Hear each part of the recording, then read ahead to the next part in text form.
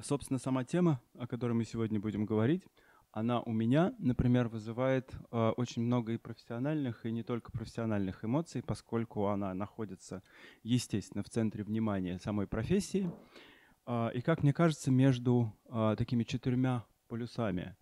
Один из этих полюсов, естественно, нормативный, поскольку мы имеем дело с территориальным планированием как с процессом, который очень сильно регламентирован, существуют документы территориального планирования, существуют полномочия а, органов государственной власти муниципалитетов по этому поводу, много споров, насколько это правильно, неправильно, градостроительный кодекс, который регламентирует этот процесс и так далее.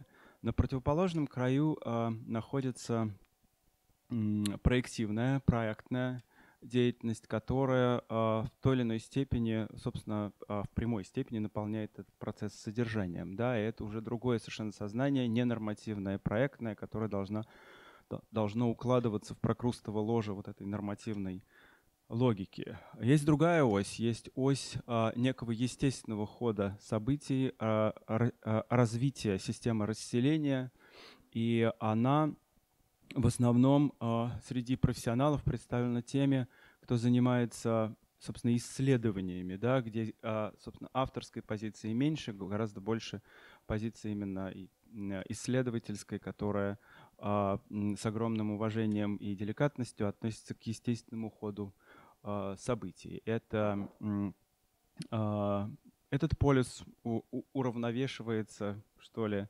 такой абсолютно творческой деятельностью, в том числе и в области образования, которая связана с размышлениями о, о том, что будет через много десятков лет. Она такая гораздо более авторская и конструктивистская конструктивистская не в смысле э, стиля архитектурного, а в смысле э, подхода. И вот между этими четырьмя полюсами э, существуют колоссальные различия, с одной стороны. С другой стороны, в э, сознании любого профессионала эти четыре полюса присутствуют и как-то находят примирение. И мне кажется, вот наша сегодняшняя дискуссия, она так или иначе будет касаться и каждого из этих полюсов. И собственно, вот я от нее жду э, каких-то очень интересных результатов. Я хочу представить э, участников нашей сегодняшней дискуссии. Это Александр Андреевич Скокон. Он, собственно, представляет здесь НЕР непосредственно, поскольку участвовал в создании этого замечательного профессионального клуба и движения и теории. А, человек невероятно известный, естественно, и в России, и в мире. Архитектор, член-корреспондент Российской Академии архитектуры и строительных наук, академик Международной Академии архитектуры и основатель, руководитель а, архитектурного бюро «Остоженко». А, Павел Маркович Полян, доктор географических наук, историк, сотрудник Института географии Академии наук и Высшей школы экономики. Павел Маркович Полян – помимо того, что он а, занимается системами расселения и географии, написал много книг а, интересных на эту тему, и он еще и знаменитый Мандельштамовед. Его псевдоним Павел Нерлер. Он возглавляет в высшей школе экономики Центр исследования Мандельштама. Да? Те, кто знает Мандельштама хорошо, а, видимо, прекрасно знает и Павла Марковича, поскольку ни одна практическая публикация не обходится без его предисловия, разбора а, и так далее. А, и Павел Маркович также является автором многих книг и исследований по насильственным миграциям, переселениям. И это еще одна из фантастически интересных тем, а, очень трагических и тем не менее невероятно интересных а, а, с точки зрения истории и э, географии. Борис Владимирович Левянт, архитектор, профессор Международной академии архитектуры, член Союза московских архитекторов, руководитель и генеральный директор компании ABD Architects. Мы недавно с ним выступали на одной из конференций. В этом смысле он и мой коллега по а, различным а, методологиям, связанным с использованием Data в а, архитектуре и градостроительстве. Павел Чистяков, эконом-географ, вице-президент Центра экономики и инфраструктуры. И, естественно, Глеб Витков, которого вы все прекрасно знаете, декан факультета городского регионального развития Высшей школы экономики и э, архитектор э, и градостроитель, э, и э, одновременно еще и э, практикующий э, архитектор-градостроитель э, в э, компании «Новая земля». Возможно, сейчас уже и нет, но тем не менее. Да. Спасибо а, большое. Я хотел бы предоставить слово сейчас Александру Андреевичу а, для вашего а, вступления и презентации. Пожалуйста. Спасибо. Ну, надо сказать, что для меня эта история не столько как бы научная, теоретическая, сколько Э, вполне личные, потому что это просто часть моей биографии. Э, с Гутновым я проработал вместе 20 лет, там с Невом я познакомился в 66 году и так далее, и так далее. И надо сказать, что, в общем-то, для меня это как бы прочитанная и закрытая книга уже давно. Э, ну, если так пытаться хронологически вспомнить, когда это все закончилось, наверное, это закончилось где-то Э, в конце 60-х, э, в начале 70-х время вообще интересное, потому что тогда, если как бы мы неумолимо двигались вперед, и как бы эта машина времени работала, то где-то в это время она сломалась, машина времени, и как бы мы перестали с энтузиазмом смотреть вперед в это самое будущее, которое нам казалось и неизбежным, и неумолимым. Если кто-то помнит, на площади Маяковского, когда вы выходили из метро, напротив стоящий дом, где кинотеатр театр Москва, там сверху была надпись «Победа коммунизма неизбежна». И никто, в общем, даже не вздрагивал, как бы читая эту надпись, потому что это было дело привычное, а всего лишь это значило, что э, это все было похоже на поезд, который как бы вышел из пункта А. Пункта А это было, значит, 25, 11, 17 года, да, пункт Б был как бы точно неизвестен, когда это случится, но то, что он случится, было абсолютно ясно. Дорога была прямая, ясная, весь вопрос был только в том, э, как долго мы будем приближаться к этому самому будущему, то, что оно будет, то, что оно настанет, не вызывало никакого сомнения. В общем, где-то в конце 60-х это время такого ожидания будущего закончилось, наступили какие-то другие настроения, наступило время, в общем, достаточно скучные два, следующие 20 лет, э, то, что потом называлось застоем и так далее, и так далее. Но э, я к тому, что, в общем, и вся эта история с Нером э, была забыта, и все люди, которые этим занимались, они занялись другими делами, в том числе и я. И если бы не встреча с Александрой Гутновой, которая, я уж не помню, год или два назад сказала, что вот есть идея как бы сделать выставку, сделать книгу и вообще вспомнить всю эту историю, э, то я бы, наверное, и не вспомнил об этом. Но после того, как она сказала, значит, э, пришлось ну, вспоминать, что это было, зачем это было, какое такое будущее, зачем будущее и так далее, и так далее. Вот. Вот, мне кажется еще, что да, и почему люди вот этим всем занимались? Потому что э, буду, э, ну, настоящее в 60-е годы оно, с одной стороны, было довольно серое и, в общем, скучное, но, с другой стороны, происходили все время события, которые как бы будоражили, потому что только что прошло оттепель, э, полетели реактивные самолеты, которые мы там можем увидеть в кино, значит, полетели люди в космос и так далее, и так далее. Все время что-то происходило, и было ощущение, что будущее, оно действительно где-то рядом. И люди жили как бы вот этим ощущением будущего. И будущее, если хотите, оно было даже более реально, чем чем настоящее. И люди как бы из настоящего уходили в будущее. То есть это был один из э, формов, из форм такого побега от настоящего, такой escape. Э, ну, многие по-разному уходили, кто-то там, я не знаю, кто-то в алкоголь, кто-то наркотиков тогда не было, но кто-то становился диссидентом, а кто-то уходил в будущее, потому что это тоже был побег. И будущее, в отличие от настоящего, где все было ясно, детерминировано, жестко и, в общем, неинтересно, будущее это была такая территория свободы, потому что при всем при том, что у государства все было как бы очень жестко э, расписано, э, будущее это в общем, у государства не было монополии на будущего, не было монополии на образ будущего. И поэтому люди вот с удовольствием как бы посвящали массу времени вот поискам, не знаю, исследованиям, там, рисованием, воображением этого будущего. Э, надо сказать, что это занятие отнимало довольно много времени. Никто, конечно, за это не платил э, и так далее, и так далее. Вот. Но, тем не менее. Значит, э, никаких запретов на этот уход в будущее, тем не менее, не существовало. Несмотря на то, что НЭР был, в общем, таким коллективным э, действием и событием, и разные люди э, в нем участвовали, они как бы подпитывали друг друга, это было то, что теперь называется синергия, э, мне кажется, что, ну, лично для меня, я ни с кем это не обсуждал, это мой личный опыт и ощущение, что было э, три самых главных важных человека в этом НЭРе. Это был, конечно, Алексей Гутнов, э, безусловный лидер, лидер вообще, что называется, по жизни.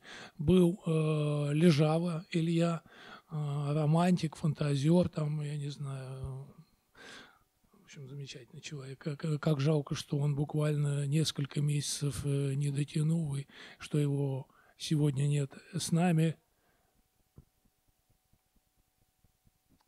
Потому что я уверяю, что если бы он был, а, то все, что вот здесь происходит, это все было бы гораздо интереснее. И, наконец, был еще один человек, Андрей Бабуров, который вообще для меня был очень важен. Вообще же вся эта история НЭРа, как мне кажется, распадается на несколько этапов. Был НЭР-1, это диплом коллективный, где еще участвовали э, люди, которые, значит, и Садовские, там и три девушки, и Звездин. Был э, НЕР-2, это первая книга, был НЕР-3, это, наверное, Миланская триеннале, э, потом был НЕР-4, это вторая книга, а дальше было как бы два пост, пост-НЕРа. Э, значит, пост-НЕР это Гутновский, пост-НЕР это Лежавы. Все остальные, в общем, занялись своими какими-то другими делами. Значит, я оказался в ореоле Гутнова и, в общем, долго еще с ним работал. Вот. Значит, э, что такое город будущего для Лежавы? Э, для Лежавы, мне кажется, э, это в первую очередь некий путь, это некая линейная структура. Я думаю, если вспоминать, откуда вообще эта идея русла, мне кажется, это лежало. Потому что где-то вот перед дипломом, насколько я знаю, он совершил путешествие по Транссибу, с, с компанией молодых студентов, они где-то там ехали на крышах, там еще что-то. В общем, это было романтическое и интересное путешествие. И тогда он, очевидно, понял, что такое вот эта Россия – что такое вот эти 8 или сколько-то там тысяч километров. И дальше для него вот э, как бы НЕР – это вот путь, это дорога, это линейная структура, обустроенная городами НЕРами. Эти города – это, в общем, такие станции, как была станция Критова, где они собирались сделать этот самый диплом. Вот. И каждый НЕР, каждый, э, это был, в общем, такой самостоятельный организм, самодостаточный. И у Лежавы был такой образ корабля – то есть корабль, огромные корабли, лайнеры, которые сейчас плавают, а, которые, значит, это целые города, которые плавают, да, где живет там много тысяч людей, абсолютно самостоятельно и так далее. Вот каждый НЭР для Лежава это был вот такой город-корабль. Надо сказать, что это у него тоже еще очевидно с детства, потому что, насколько я знаю, его детское увлечение, он собирал корабли в бутылки. Такие китайское занятие, Значит, э, для него корабль это было какое-то, в общем, сокровенное существо. Вот. А что касается а, Гутнова, то ну, для Гутнова, мне кажется, НЭР был это скорее о процессе движения к этому желаемому, идеальному, правильному будущему. А, даже не столько к будущему, сколько к разумно, правильно организованной действительности жизни – Э, перекликаясь с модными в то время методическими студиями, он говорил вообще о методике процесса методики процесса формирования и развития города. И поэтому так естественно и органичен был его переход э, в 70-е и 80-е годы от города будущего к городу существующему и городу прошлому, э, к историческим городам и к Москве вообще как к реальному э, большому организму. Был еще третий замечательный, очень свободный и независимый человек, может быть, даже тот, кто первый среди них сказал вот это самое первое слово «город будущее». Это Андрей Бабуров – человек, который знал массу ненужных в кавычках вещей, э, говори, с которым можно говорить о Фолкнере, о Прокофьеве, о Каутвейне, о старом городе, еще о многом другом, совершенно не обязательном и не вытекавшем из происходившего вокруг. Вот. Бабуров, может, и был человеком из своего будущего, который мог многое про него рассказать. И поэтому очень важно, что он был, хотя сейчас трудно сказать, что именно он сказал там, и что именно он сделал. Но он был одним из тех людей, без которых э, как бы э, все вокруг было бы несколько иначе. И еще надо сказать, что Бабуров э, в отличие, хотя они все, конечно, ребята были такой западной ориентации, но Бабоев, возможно, был в большей степени, э, в большей степени западник из них из всех. Вот. А город будущего по разным причинам не случился. То есть будущее, конечно, наступило, по крайней мере, 18 лет назад, потому что если тогда бы нас спросили, а когда это будущее наступит, мы уж точно сказали, ну уж в 2000-м это будущее точно наступит. Значит, уже 18 лет мы живем в будущем, ну, во всяком случае, люди моего поколения.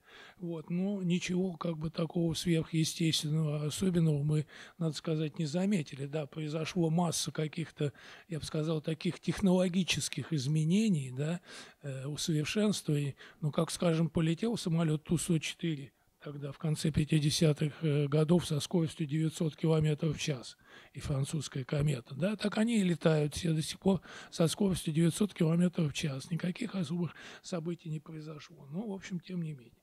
Э, значит, э, какое-то будущее случилось. Оно не похоже на то, которое пытались тогда это люди предвидеть. Вот. Будущее Э, нынешнее время, можно сказать, что нас, э, это время технологий, э, что это время не про что, а про как, если так можно сказать. И про то, что востребованы сейчас не фантазеры-архитекторы, а экономисты, юристы и вообще очень востребованы те, кто охраняет настоящее и прошлое от будущего. Спасибо.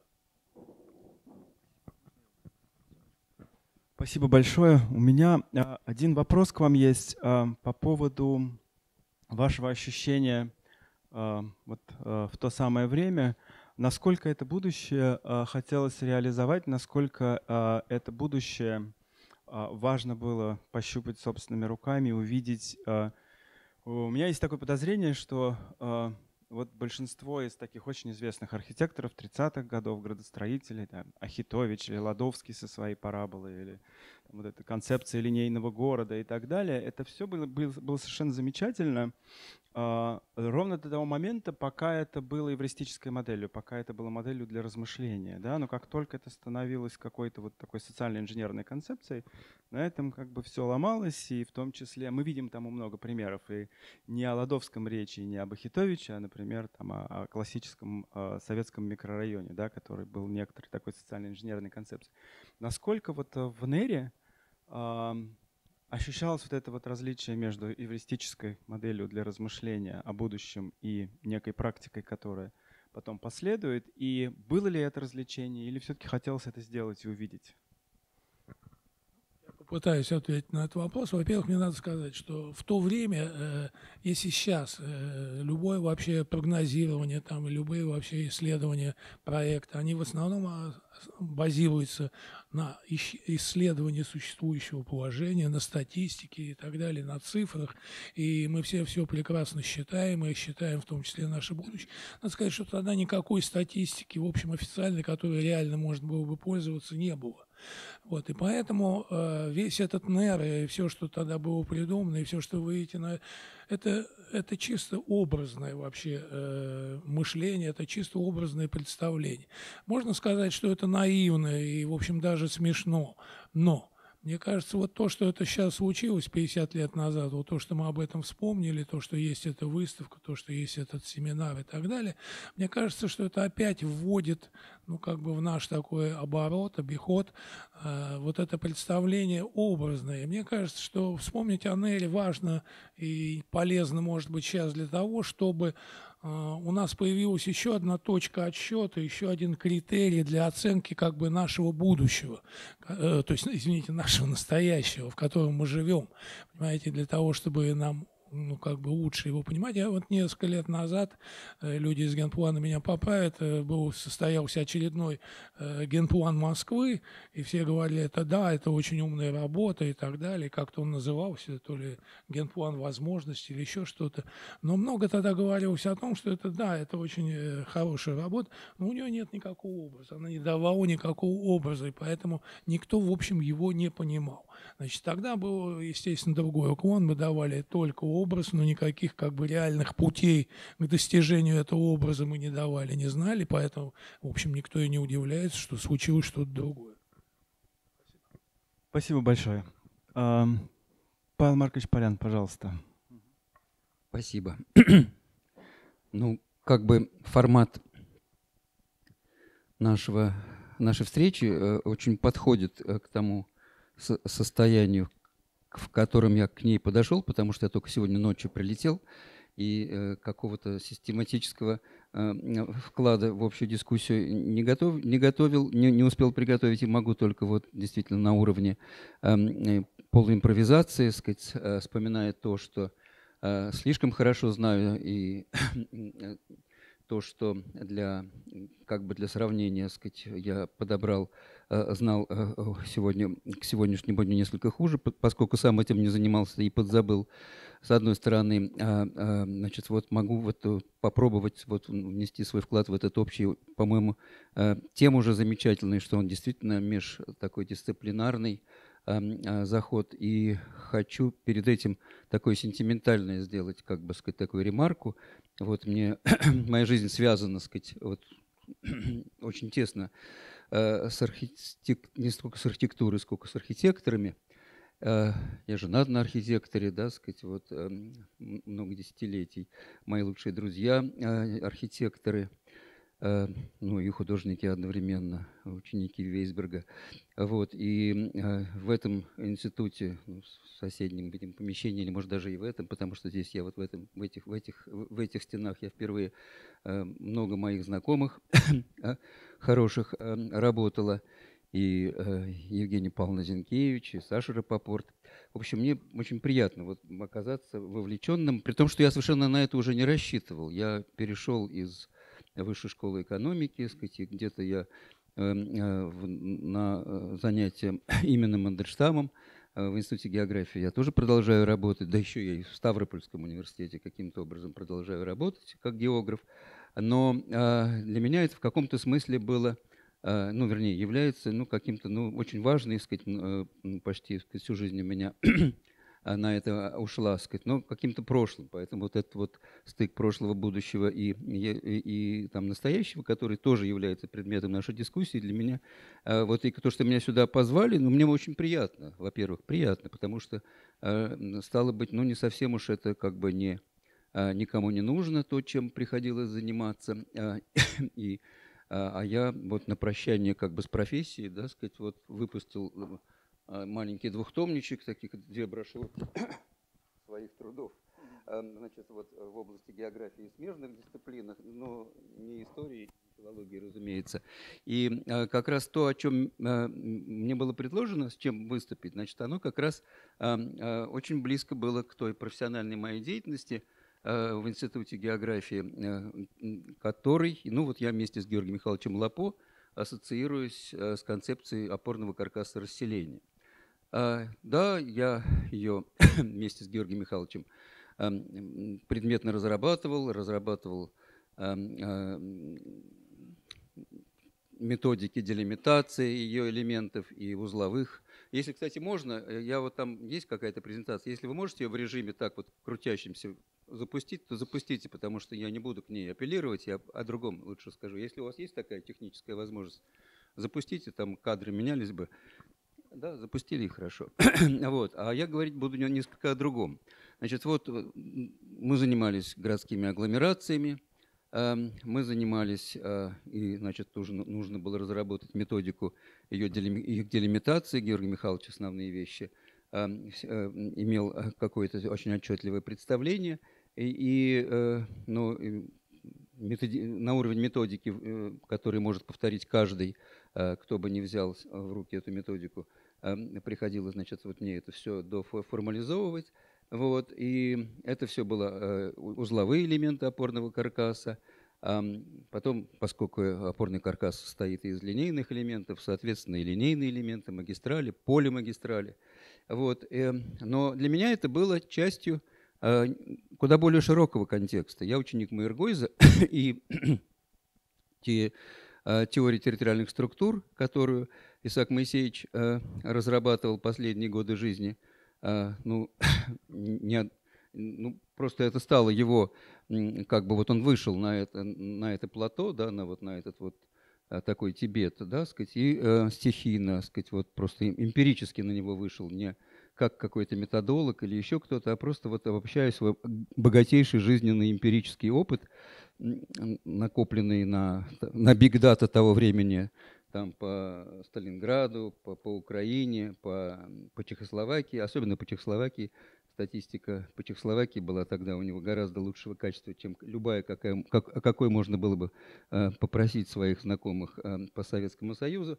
Вот э, он выработал эту теорию, не вдаюсь в эти подробности. И вот как раз занятия опорным каркасом расселения э, были для меня э, э, важным еще в том отношении э, занятием, поскольку я понял, что этот самый опорный каркас расселения – является одной из э, территориальных структур, типологически принципиально автономных территориальных структур, наряду с другими, которые выделил Майергойс. Вот как бы встраивание опорного каркаса как концепции в, в более общую семью территориальных структур и более общую теорию Майергойзовскую, это то, чем, э, к чему тоже Э, по ходу этих занятий э, э, я пришел или мы пришли с Георгием Михайловичем. Вот. У нас были очень и продолжаются очень тесные коллегиальные и дружеские отношения. А вот почему мне было особенно интересно получить вот своего рода вот это приглашение. И да, вот значит, параллельно шла какая-то другая жизнь, да, параллельно вот мы этим занимались, э, и, вдруг, и однажды мы были атакованы, очень сильно были атакованы эм, Борисом Сергеевичем Хоревым, там некоторыми его коллегами из Питера, Агафонов, Лавров, не помню, э, кто-то еще, значит, вот была такая такая статья в «Известиях э, географического общества», кажется, там, в 1982 году, которая как-то так очень агрессивно называлась ну, прямо как можно было чувствовать себя э, генетиками, сказать, атакованными Лысенко. Нас в этой статье называли аглоцентристами, ультраурбанистами, э, как только не назывались. ну, Борис Сергеевич Хорев, человек очень специфический, в общении таком личном крайне мало э, приятная э, фигура, но здесь мы не об этом, а о том, вот как бы, он тоже был по-своему последовательный, да, сказать, вот недаром он какую-то из коммунистических партий доорганизовывал, когда там был кризис в этих партиях. А, но как бы методы, вот, которыми он попытался решить эту проблему, а проблему я сейчас скажу, и потом я э, скажу о том, что все это значит, помимо вот этой вот какой-то возни, э, Слава богу, что я могу сказать об этом возне. То есть, если бы это было не в начале 80-х годов, а если бы это было Э, какие-то другие э, менее, вернее так, более мрачные времена, то эта возня могла бы плохо кончиться, сказать, для тех, кого атакуют, вполне. А методика и, как бы сказать, вот такая технология была очень похожая. Ну, как бы научная общественность дала, в общем в каком-то смысле отпор. Было большое, огромное заседание географического общества, этому посвященное в каком-то смысле в нашу защиту. Нашу это Лапо, я и еще Юрий Львович Пивоваров. То есть персонально трое мы были подвергнуты этому а, попытке астракизма. А, а на самом деле ведь а, потом, вот, ну, кроме вот если отвлечься от этих вот э, таких исторических ассоциаций и аллюзий, ведь речь шла ведь о чем-то гораздо более существенном. Борис Сергеевич был разработчиком или там руководителем коллектива, который это разрабатывал, некой концепции единой системы расселения, которая называлась, смысл которой сводился к следующему. А, значит, вот существует некая территориальная организация народного хозяйства, есть районирование, Баранский, Колосовский, так далее и тому подобное. Значит, вот, и это все проецируется в население, в расселение посредством того, что все, вот, у всех этих районов есть своя какая-то э, населенческая э, составляющая, и все это вместе выстраивается, сказать, в какую-то вот э, подчиненную, условно говоря, или как казалось им, подчиняющуюся и слушающуюся эм, э, госплана эм, систему, в которой есть единая система расселения, складывающаяся из этих вот районных, областных и так далее и тому подобное. И за всем этим стояло то представление, что всем этим можно управлять, что можно Э, как можно там, допустим, реки направлять куда нужно, куда хотят большевики, так можно, сказать, вот, э, управлять и расселением. Э, можно, эм, значит, эм, бороться за то, чтобы... Одна из последних, я уж единственное, что я успел посмотреть к сегодняшнему заседанию, это вот что Борис Сергеевич потом еще писал. Одно у него, у него еще была, как бы он основал Лигу борьбы за, за, или борьбы с, популя, с депопуляцией, если что-то такое, какая-то, по сути, по названию этого я могу себе представить, о чем шла речь. То есть э, Хорев, э, в данном случае я уже отрываюсь от его личности, а просто вот э, те, кто так же, как и он, э, имеют себе представление об этом, схожие с ним, или, ну, неважно, как бы некое такое движение, что все это поддается, э, во-первых, э, управлению, такому инжинирингу, эм, э, во-первых. Во-вторых, эм, можно, э, держа в руках эти вожжи, э, добиться того, что там, где нужно население, сказать, сколько нужно будет, тут уже пол, полшага до, до практики, таких правоприменительной практики а депортации и так далее и тому подобное. Сказать. Вот, эм, и э, все, что этому противостоит, ну, скажем, вот э, представление о концентрации, о неслучайности концентрации, урбанистической, в том числе урбанизационной, точнее, концентрации каких-то очагах, э, каковыми являются э, вот как раз узлы опорного каркаса, каковыми, в свою очередь, являются прежде всего агломерации – поскольку узлы эти бывают разного порядка, то, ну, в общем, так сказать, высшие, высшие, высшие, высшие, высшие градации этих узлов все-таки агломерационные. Вот, и, а за агломерациями тоже стоят определенные методики. Они тоже могут быть разные. У нас была такая дружеская конкуренция с градостроительства. Вот, а по поводу методик делимитации, методики делимитации агломераций. Но это совсем другая, как бы мы были единомышленниками, у нас были какие-то операционные операционально разные представления о том, что, что, какой критерий ядра, какой критерий эм, границы агломерации, это уже другое. И это все, кстати, поддавалось синтезированию вместе с Ильей Заславским. Мы в свое время такую попытку с сыном Наймарка, мы в свое, такую, в свое время такую попытку тоже сделали и предприняли достаточно успешно. А тут совершенно действительно, и это действительно так, это не связано с тем, что Хорев нехороший, а Лапо хороший человек – Э, вот, никак не связано. Сказать, это, это действительно разные как бы, э, э, взгляды на мир.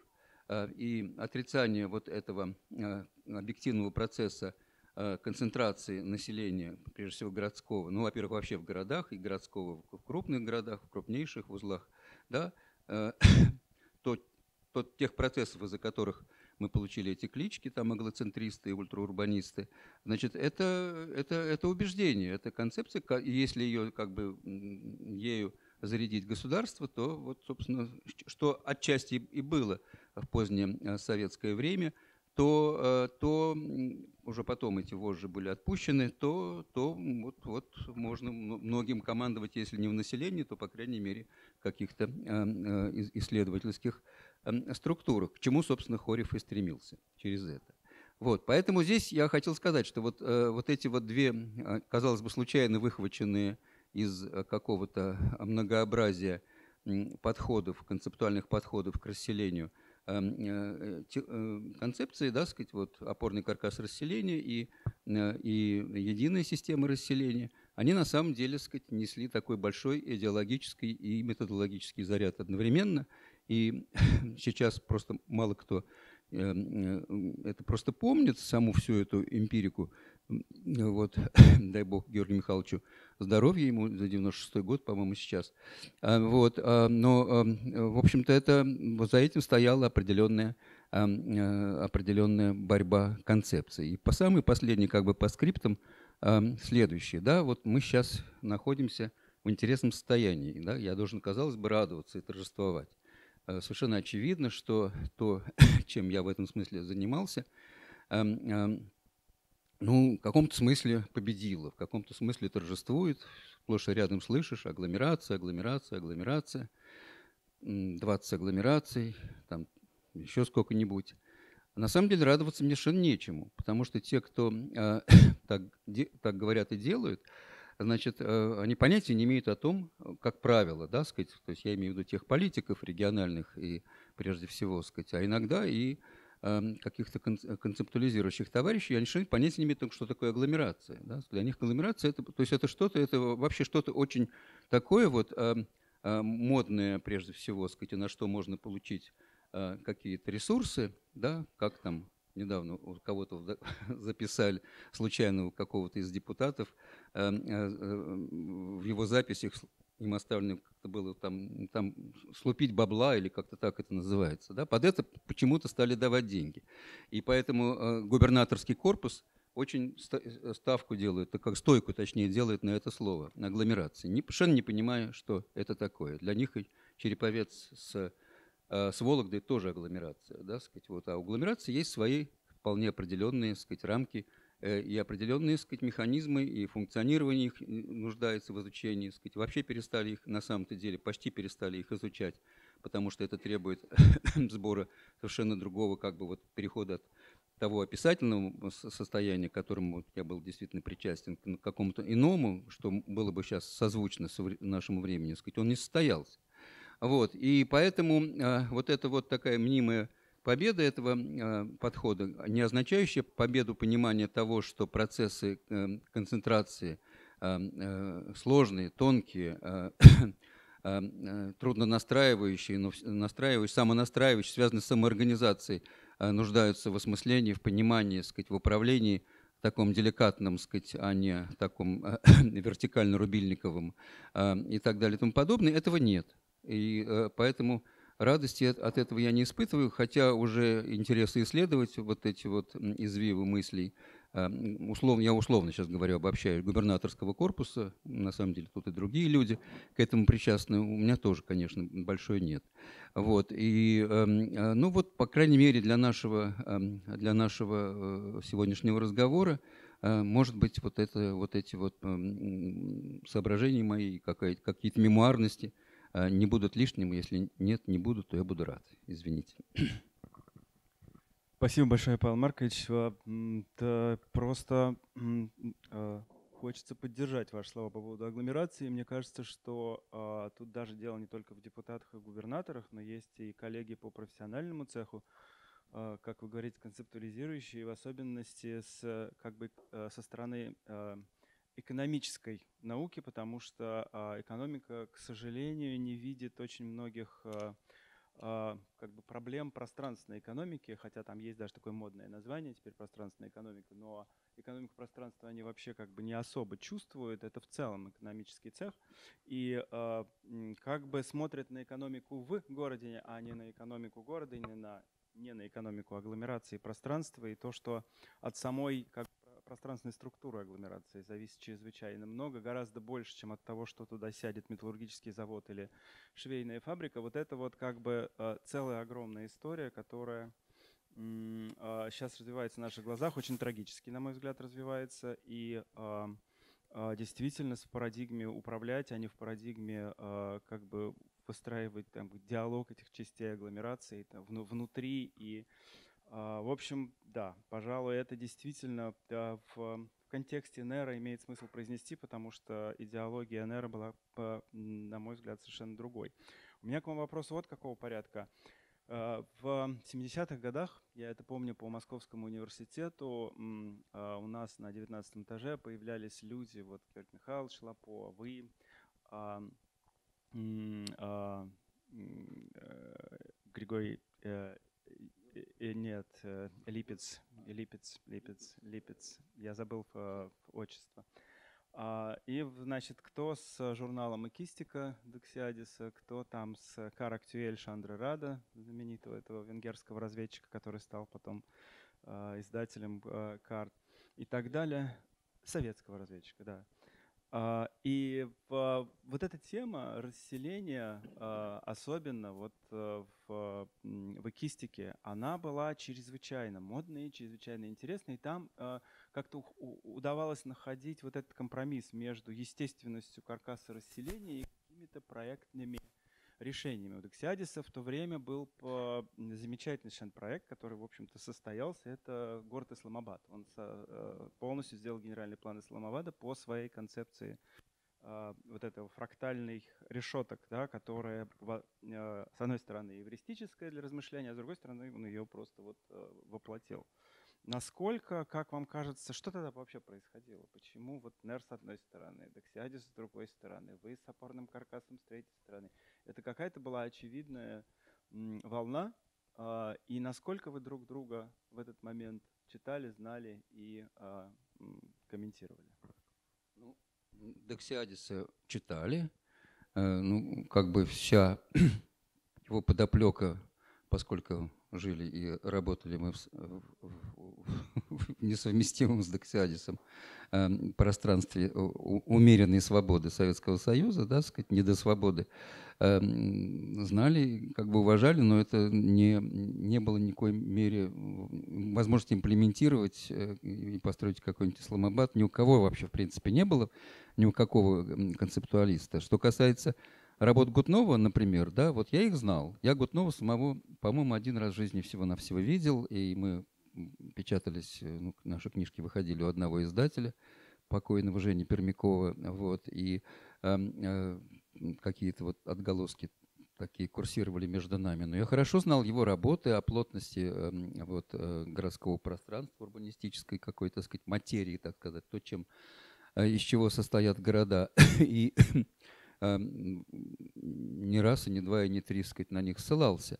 Вот, ну, то есть э, определенные взаимодействия э, и как бы на уровне упоминаний э, то есть, ну, ну, как бы вот восприятие того, чем занимался тогда, вот в то время Гутнов, и э, это уже позже мы были у одного общего издателя, э, вот, а, и чем занимались коллеги вот э, экистики, да, сказать, вот, было, но, э, в общем-то, не было ведь никакой э, даже попытки, хотя Георгий Михайлович тот же, сказать, он пришел в МГУ из института как раз э, Ценибградстроительства, строительства, если мне память не изменяет, и, и Перцик при, из Гипрогора э, перешел скорости, сказать, в общем-то, как бы вот люди практической сферы э, очень себя хорошо чувствовали в, в университетской среде, но э, никаких э, попыток для каких-то масштаб ну, или, или предпосылок для каких-то имплементаций этих всех идей, сказать, эм, э, в каком-то реальном, э, условно говоря,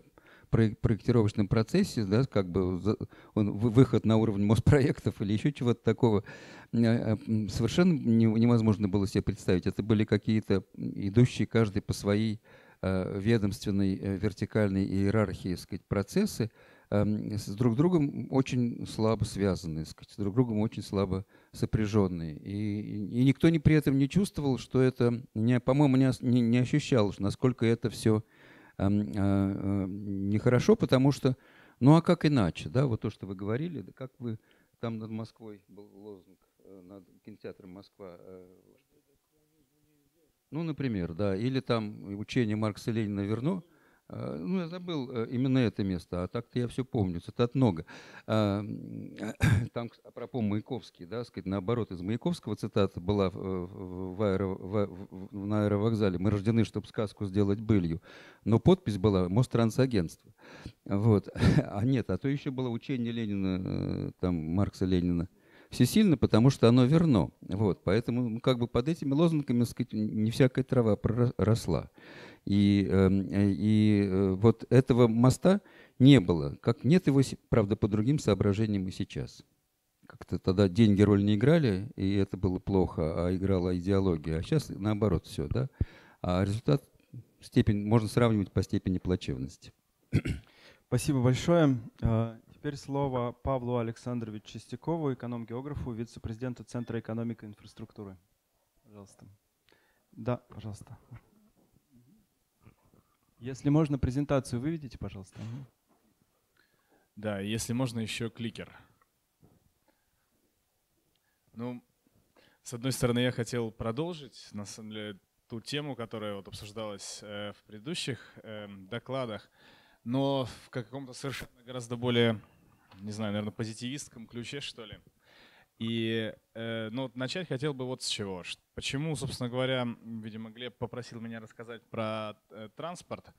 Возможно, потому что я как раз и есть то зло, которое влияет на этих отчасти несчастных политиков, которые говорят про агломерации. Но э, тут эм, совершенно не, прис, не присуждаю себе как бы то, что 20 агломераций или 37 там возникает. Но тем не менее, действительно, э, наш центр э, совместно с Центром стратегических разработок какое-то влияние оказал на то, что, по крайней мере, это слово выучили. Но выучили плохо. Вот недавно с одним регионом работали, и там губернатор упорно говорил в прошлом году англомерации, а потом ему объяснили, что у него их аж две, и что на это действительно могут дать денег, и он стал говорить агломерации, и причем не путать, они у нас не такие, как в Великобритании. Так что это, да, действительно есть такие перекосы. Эм, но Значит, вот где мы, наверное, наиболее продвинулись в методологической части, в методической части даже, это анализ влияния транспорта на систему расселения. И это в существенно большей степени тема, которая связана с вторым э, крылом, о котором говорил Алексей Викторович, э, с естественным развитием эм, э, системы расселения э, и с влиянием вот как бы в ту или иную сторону э, на эту систему расселения. Я хотел бы привести несколько трендов, которые мы выявили, э, проведя опросы населения примерно на 60 тысяч человек по стране в разных регионах за несколько лет э, из нашего анализа социальных сетей, э, который был направлен на то, чтобы понять, как связано, собственно говоря, пространственное поведение населения и их рассел... его значит, рисунок, конфигурация расселения. И эти тренды следующие. Первое, происходит отрыв места жительства от места работы. Даже не сколько отрыв, сколько факторы становятся разные. Да? И, в принципе, люди думают об этом по-разному и выбирают эти места по-разному. Значит, э, то есть некоторые, причем э, растет разнообразие различных комбинаций. То есть некоторые хотят жить в центре, но иметь возможность быстро выбраться за город, чтобы чем-то подышать приличным. Некоторые, наоборот, хотят жить все время значит, в центре, но дышать неприличными выхлопными газами в пробке. Да? То есть это по-разному. Э, второе — это снижение регулярности циклов пространственного поведения. То есть все, значит, вот такая категория, как маятниковый мигрант, начинает постепенно уходить в прошлое, потому что э, под этим традиционно подразумевается человек, который к 9 приезжает на работу и в 7 уезжает с нее обратно. Так вот, уже сейчас в московской агломерации порядка 20% работающих людей работают без привязки вот к такому жесткому графику. В других э, регионах э, с крупными городами эта доля существенно меньше, но она тоже интенсивно растет даже за цикл вот наших наблюдений. Третье — это эм, рост, если угодно, когнитивной связанности территории, то есть люди воспринимают территорию как более связанную, чем раньше. В чем это выражается? Это выражается в том, чтобы, что поехать куда-то далеко — это уже не какое-то дерзновение и большие сборы, а это как бы психологически воспринимается существенно проще. И э, вот это мы видим. Но, кстати, мы видим, что это связано с другими аспектами того, что там Всемирный банк сейчас называет Global Connectivity, с э, потоками данных, э, с возможностью общаться Э, онлайн. И э, здесь мы делали, это, правда, исследование еще пока не закончено, но вот первые выводы мы уже видим, что ну, условно говоря, чем больше у человека друзей в социальных сетях, тем он чаще ездит. Где прямая эта связь или обратно, я пока сказать не могу, но факт такой, что на самом деле, э, значит, есть определенная, по крайней мере, корреляция прямая.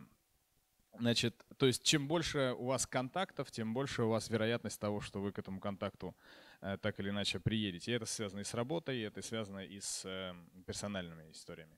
Ну и вот теперь значит, несколько... Куда-то нажимать-то?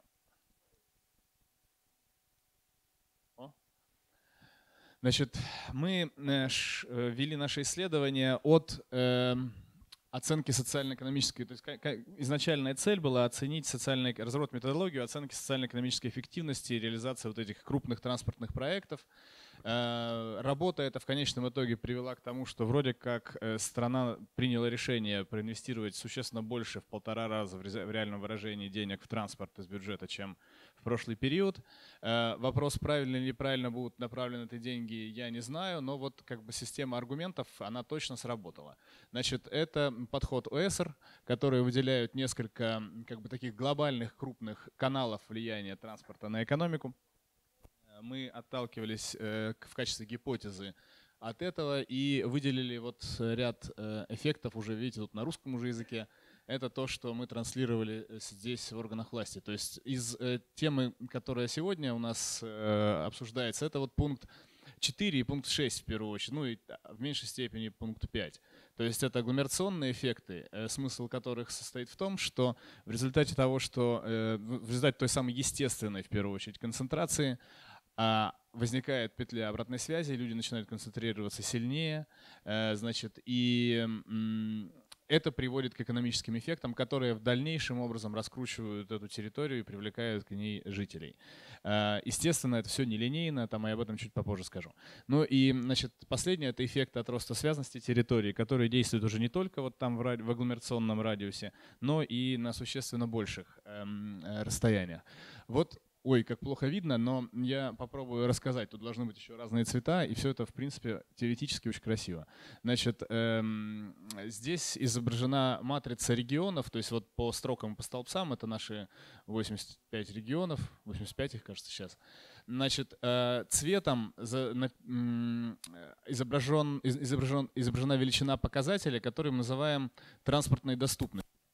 Транспортная доступность э, – это очень большое было исследование, считается как совокупные транспортные затраты, средневзвешенные по всем видам транспорта. То есть мы смотрели реальную стоимость э, проезда на всех видах общественного транспорта и на личном автомобиле. Если с личным автомобилем это понятно, это бензин и километры, э, то с эм, общественным транспортом было существенно сложнее. Мы в, в собирались то, что сейчас называется Big Data, то есть у нас за каждый день э, специальная программа мониторит, сколько стоит проехать, на, пролететь на самолете, на поезде, там же везде сейчас цены меняются каждый день. Э, и, значит, э, самое сложное было это сформировать матрицу корреспонденции, чтобы понять, сколько людей реально на каком виде транспорта ездят. Вот мы эту работу вели три года. И, ну вот вы видите здесь, на самом деле, вот по диагонали это, собственно говоря, регионы, которые находятся в одних федеральных округах. Э, близкие друг к другу, и мы видим, что там э, вот этот индекс связанности транспортной доступности выше существенно. И вот по, по краям э, более далекие территории. Значит, и если это все дело обобщить, то есть просуммировать уже, превратить из матрицы в ранги, то мы получим вот коэффициент транспортной доступности как территория, насколько она связана с другими регионами. Вот примерно такой выглядит рисунок. И дальше мы э, пытались построить эконометрическую зависимость, которая оценивала транспортную доступность, изменение транспортной доступности и влияние этого показателя на миграции. Значит, там была выявлена, в общем, сейчас не буду углубляться в методологию, э, там была выявлена, в общем, достаточно существенная положительная зависимость. А, однако проблема состояла в том, что на самом деле этот показатель транспортной доступности очень мало менялся во времени.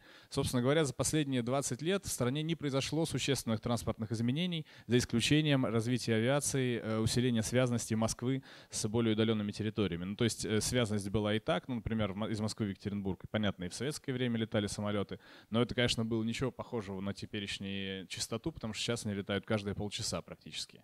И вот этот сдвиг, пожалуй, был наиболее существенен. Но что, к чему это привело? Это привело к тому, что на самом деле транспортная доступность вот этих крупных центров, э, значит, опорного каркаса, можно так сказать, э, оказалась существенно сильнее, чем этих центров с территориями, которые ближе к ним. Потому что вот этот наземный транспорт, который самый капиталоемкий и требует действительно больших инвестиций, но с нашей точки зрения дает и наибольшую отдачу, в него никто не вкладывался. И поэтому Рязань от Москвы реально ближе, дальше, чем Екатеринбург. Потому что добраться из центра Москвы в центр Рязани может занимать сейчас дольше, чем добраться из центра Москвы в центр Екатеринбурга. Значит, э, не говоря уже про такие искажения, как, например, э, Якутск-Красноярск, да, путь в который лежит через Москву и только через Москву на текущий момент. Значит, вот эм, есть такая история. Но если переходя, переходить к расселению, то я хотел бы вот остановиться вот на каком слайде.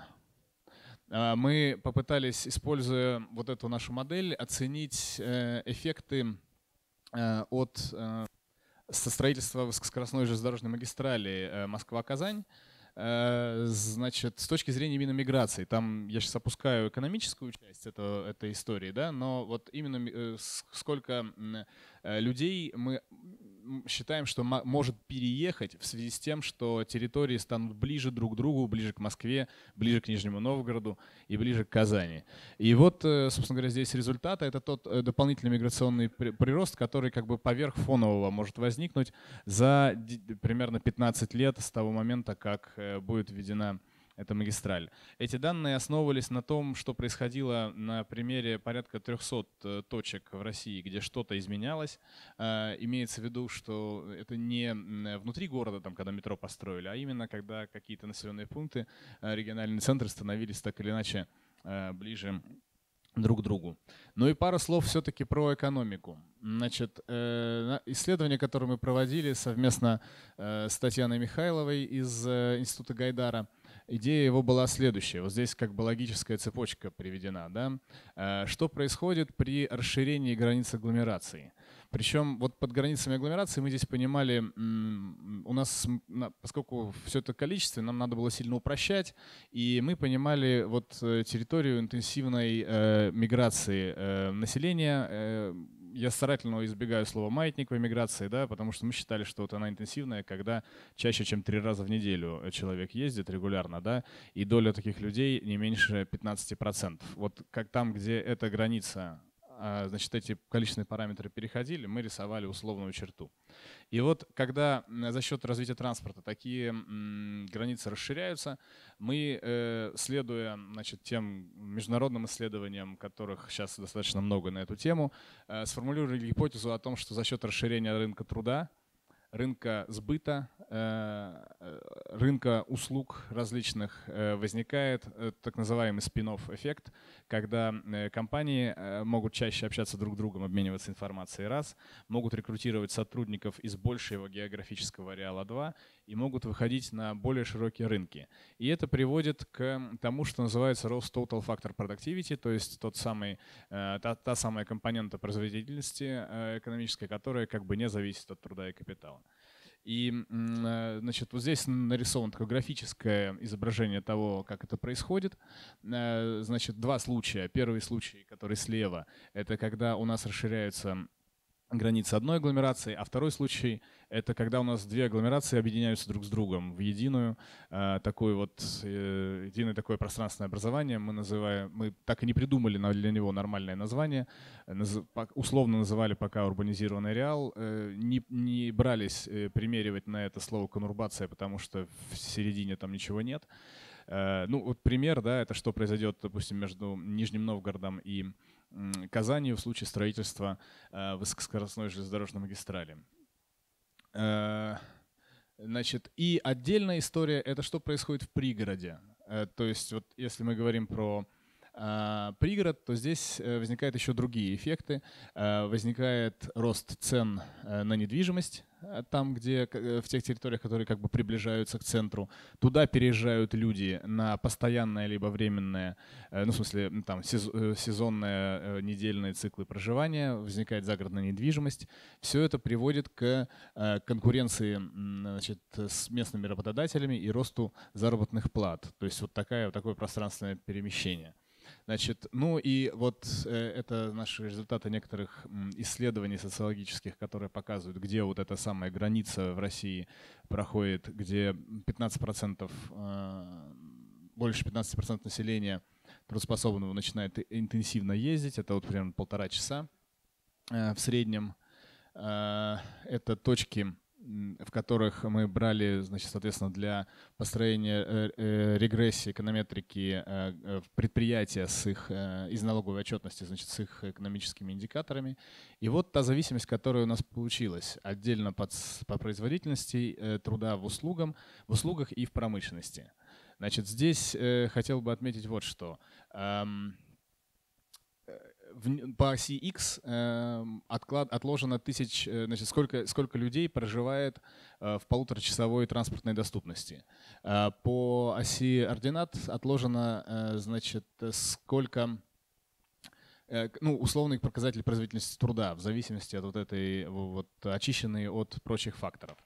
И здесь видно, что вот в чем состоит экономическая сущность, собственно говоря, этого агломерационного эффекта, что э, при э, вилке от 700 тысяч населения примерно до 3-4 миллионов наблюдается вот этот очень интенсивный агломерационный эффект, когда каждый, э, там, каждый э, десяток тысяч э, дополнительных жителей дает определенный прирост производительности.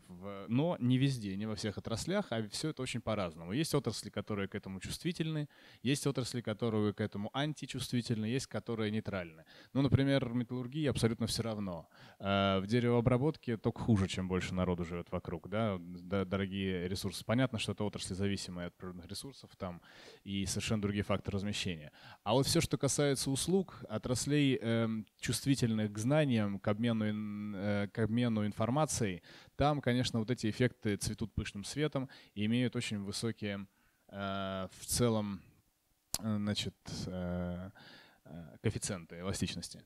Ну и здесь вот что происходит с этим коэффициентом по мере удаления от э, ядра агломерации, то есть он затухает, как бы вот эта вот зависимость, да, и вот э, на расстоянии примерно от полутора до двух часов она практически сходит на нет.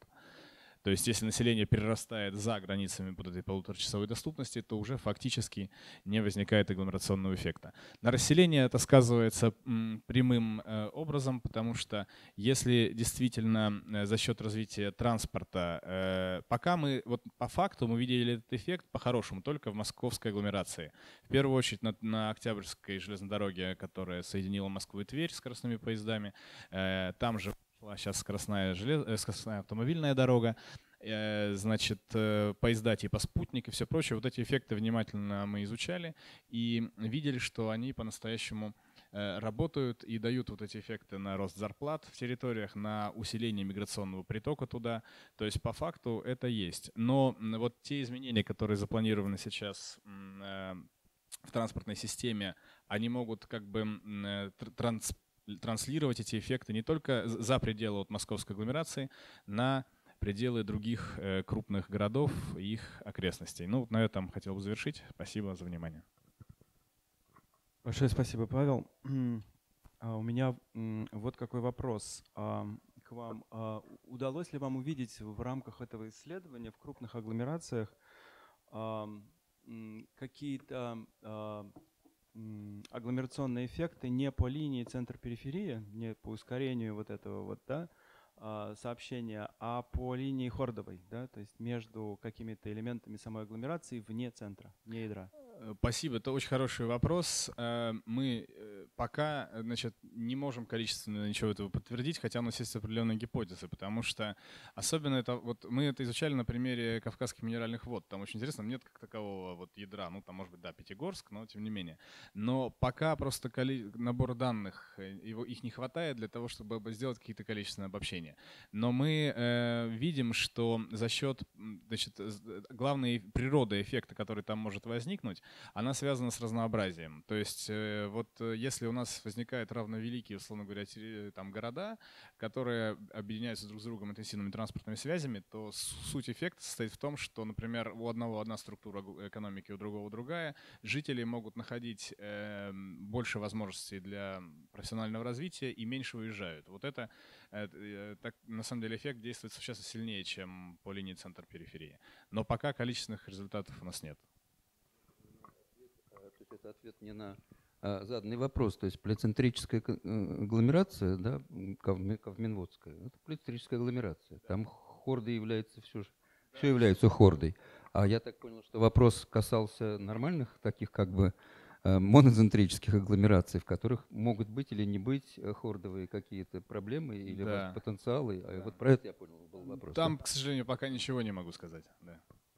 Спасибо огромное, Павел. Спасибо. А теперь слово Борису Владимировичу Левянту, пожалуйста. Вот так, так работает. я хотел вернуться к Алексею Львовичу, ну, к Неру, и попытаться, так сказать, эм, рассказать о том, как, на мой взгляд, некоторые идеи, которые в свое время разрабатывались в отделе перспективных исследований э, Института генерального плана, так или иначе, каким-то образом удивительно, может быть, э, реализуются сейчас и реализовывались. В частности, где-то в начале 80-х годов я работая э, в отделе Гутнова, кстати, здесь вот помимо Александра Андреевича есть еще и Лидия Кожаева, это вот как бы три человека, которые присутствуют из э, того коллектива, который долгое время работал с Гутновым. И вот, э, в, то время мы делали такую занятную достаточно работу с Евгением Сергеевичем Русаковым, который был активным участником в свое время НЭРа. И, собственно говоря, работа была посвящена транспортно-коммуникационным узлам, а, а именно э, городскому каркасу Москвы и вот выявлению таких вот узлов, э, скажем, потенциального роста или напряженности, где, э, так сказать, даже в советское время были очевидны существенные трансферные перемещения – и было понятно, что эти территории могут э, каким-то образом развиваться, немножко отличаясь от многих других тканевых э, пространств э, города. И была сделана такая работа, был анализ этих транспортно-коммуникационных узлов. Но самое удивительное то, что мы абсолютно не понимали, а за счет каких ресурсов они могут развиваться. Да? То есть анализ аналогов э, в западных городах показывал, что там, так сказать, э, эффективность развития связана с ценностью э, вот этого трансферных перемещений и с ценностью земельных участков, которые там есть. Ну, при, так сказать, советской экономике, когда есть, так сказать, один карман и просто из одного кармана перекладывается в другую, такого понятия, как development или развитие территории, ну, практически коммерческого развития территории не было. И вот я не знаю, каким образом, но а, и не знаю, кто бенефициар в конечном итоге этой идеи, которая была донесена до московского правительства. Но, как вы знаете, сейчас есть такой термин ТПУ, транспортно-пересадочные узлы, которые, по сути дела, и являются вот этими а, узлами каркаса, которые в свое время были анализированы и вычленялись в Москве.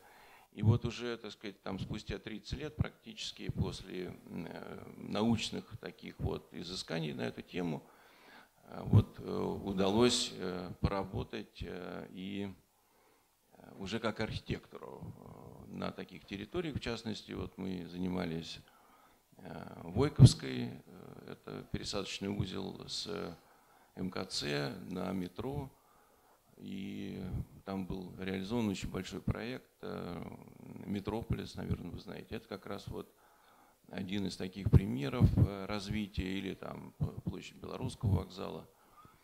И э, я могу сказать, что вот по внутреннему ощущению это не случайно эти идеи были, так сказать, реализованы. И после того, как будущее наступило, и, так сказать, пришла рыночная экономика, то, в общем, эта деятельность наполнилась каким-то э, экономическим смыслом. Надо э, сказать, что, в общем, э, Алексей Бруч был человеком действительно прозападным во многом и понимал, что движущая сила, движущая сила развития города – это не только власть, но и свободное в какой-то степени предпринимательство и активность э, частных девелоперов. И вот мне было очень интересно э, вспоминать тот вот опыт, э, который мы получили, работая с Русаковым и с Гутновым, и пытаться применить это уже в какой-то некой современной реальности.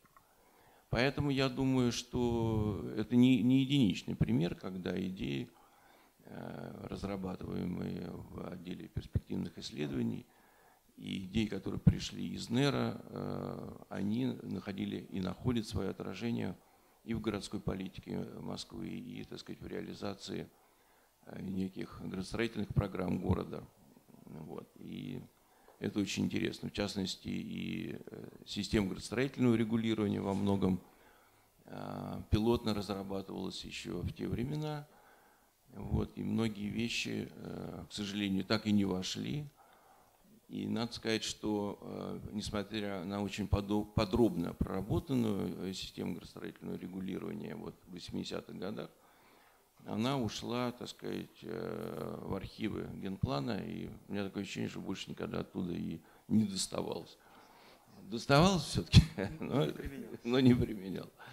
Ну вот, пожалуй, просто чтобы не затягивать, я вот хотел отметить такой вот момент – Таким образом, все-таки НЭР э, влиял и влияет, на, в том числе и на нашу жизнь. И вот в нашем так называемом будущем, о э, котором мы узнаем все больше и больше. Алексей, спасибо.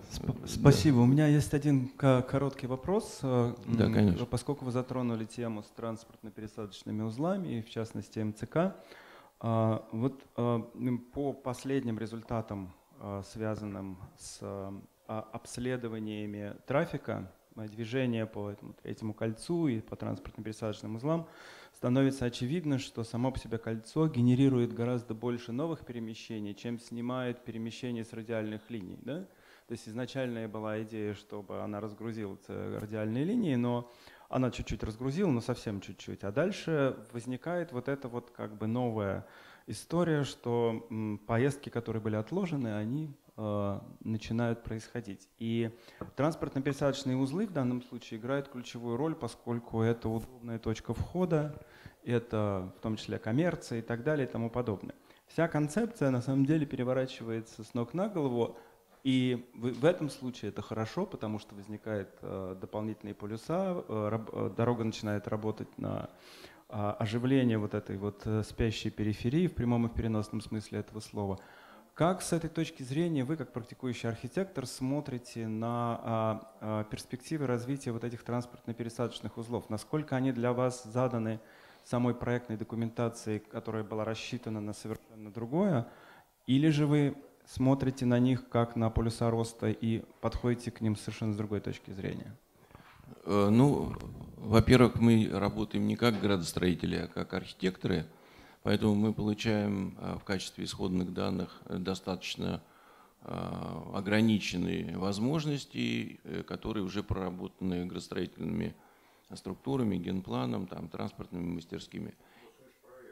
И в том числе, ну я, я, я, ну, я так не хотел называть эту замечательную организацию, вот, но тем не менее. А, и поэтому э, наша задача, собственно говоря, сделать, с одной стороны, э, максимально э, плотным э, вот этот объем или площади транспортно-пересадочного узла, добиться максимально, так сказать, эффективности использования капиталовложений и удобства для, естественно, для трансферных пассажиров.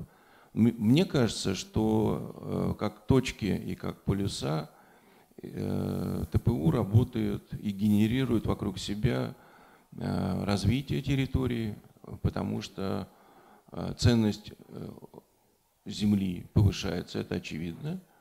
И, соответственно, далее, так сказать, интерес у девелоперов и прибыльность, так сказать, их бизнеса тоже может повышаться.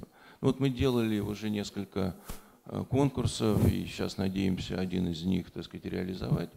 Это как раз Мосинжпроект проводит эти конкурсы на ТПУ. Многие московские архитекторы участвуют в этом, и это довольно занятное такое. Э, ну, я не буду говорить о результатах, которые не объявляются никогда. Вот. Но, тем не менее, мы работали последний, вот э, электрозаводская э, транспортно-пересадочный узел, очень сложный метро и железная дорога.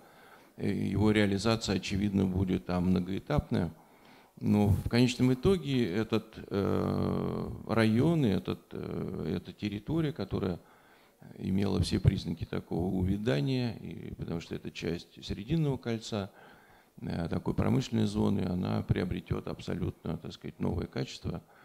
И, собственно говоря, вот такая реализация, мне кажется, имеет место быть. Спасибо. И за последние там несколько недель три или четыре ТПУ рассматривались. Так вот, люди, которые формируют задания на это ТПУ, да, вот из проекта, я понимаю, что они книжек не читают, да, Гутновскую книжку они про нее даже не слышали, э, по каким-то городам, где ТПУ строится, они не ездят, и поэтому это все такие, такие вполне локальные значит, образования, да, от которых до ближайшего дома 300, 400, 500 метров, значит, до темных, темных, невнятных и так далее, каких-то, в общем, ненарисованных каких-то троп.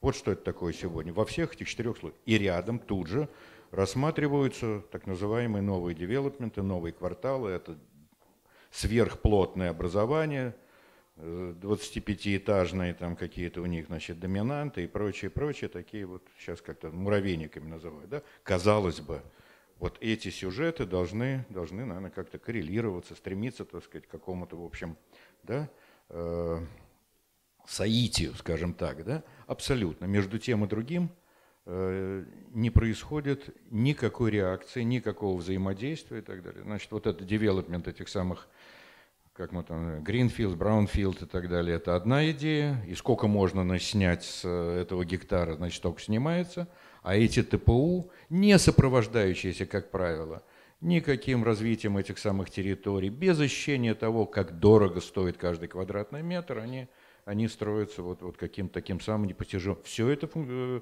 э, все это естественным образом значит, финансируется за счет городского бюджета. Мы это понимаем. Вот то, что называется этот, э, э, как это называется, значит, частно-государственное партнерство, которое могло бы дать соответствующий эффект, вот это, к сожалению, в общем, не зарождается, потому что мы понимаем, что природа у финансирования бюджетного и природа финансирования э, такого девелоперского, они совершенно, к сожалению, значит, у нас разные.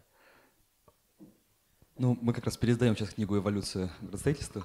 Вот, ну, пересдаем книгу «Эволюция градостроительства», так что мы подарим ему же проекту. Может быть, это возымеет какое-то дополнительное действие. Это был Андрей Владимирович Боков. Огромное спасибо за комментарий. Сейчас я передаю... А, большое спасибо вам, Борис. А, а, передаю слово как раз Глебу Виткову. И на этом мы заключаем. Да. Спасибо, Алексей Викторович. А, будьте добры, пожалуйста, презентацию тогда. А, я хотел добавить а, еще одно измерение в нашу сегодняшнюю дискуссию. Собственно, поскольку, поскольку завершая, то немножко проговорим как раз про будущее а, и про то, как а, можно еще смотреть на каркас расселения да, и на как, его в цифровую эпоху можно по-другому считывать. Мы специально взяли такую такое странное изображение, фрактал, да, а, предполагая, что есть некоторые закономерности между тем, как развиваются города. Но на самом деле все, конечно, несколько иначе выглядит. И так, все, на работу. М? Она очень новогодняя картинка, мне подсказывается, соглашусь. Но мы, мы переключимся к, перейдем к, а, к реальным а, исследованиям, да, и к тому, как выглядит каркас расселения. Вот справа вы видите такое более традиционное представление системы расселения в России. Да, это все наши э, э, города. А, а слева а, другая схема, а, которая показывает устойчивые дружеские связи по социальным сетям между крупнейшими городами. Здесь только топ-3, да, то есть это Москва, Санкт-Петербург, да, но понятно, что есть э, дружеские связи и между другими городами, они никуда не пропадают. Но мы хотели добавить еще один слой да, в, в, в, в дискуссию, в диалог о том, как выглядит система расселения. Ровно потому, что что э, новые э, как раз гипотезы могли бы строиться совершенно а, иначе относительно того, а, хотят ли люди переезжать из одного города в другой, зачем они туда едут, а, насколько устойчивы связи между городами. И обязательно они выражаются в наличии инфраструктуры или это э, в том числе часть каких-то иных видов связи и коммуникаций. И так, да, вот. А треть городского населения Российской Федерации проживает в, в малых и в, в средних э, городах. Э, собственно, видно э, на карте вот это поле распределения населенных пунктов.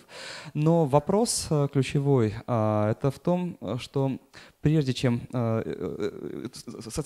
Так, соответственно, да, другую сторону. Вот, отлично.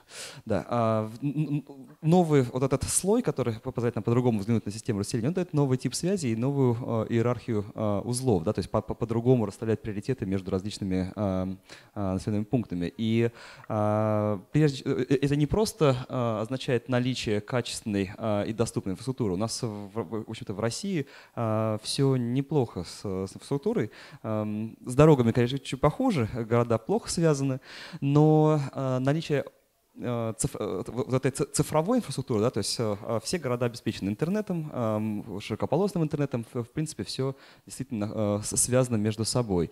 И понятно, что когда мы переходим к этому слою, мы должны, не должны тут же бросаться и рассуждать про, про, про, про интернет и инфраструктуру, а вот интереснее посмотреть, как, как, как эти практики использования интернета в городах в итоге влияет на, на среду и на то, как мы оцениваем качество жизни, да, и это, то есть, по сути, другое измерение э, э, качества.